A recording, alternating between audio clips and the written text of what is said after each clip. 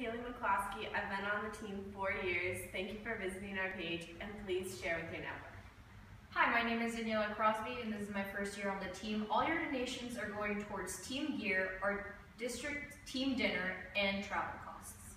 Hi, my name is Maddie Stratton. This is my fourth year on the team, and all of your donations are tax deductible, so donate below.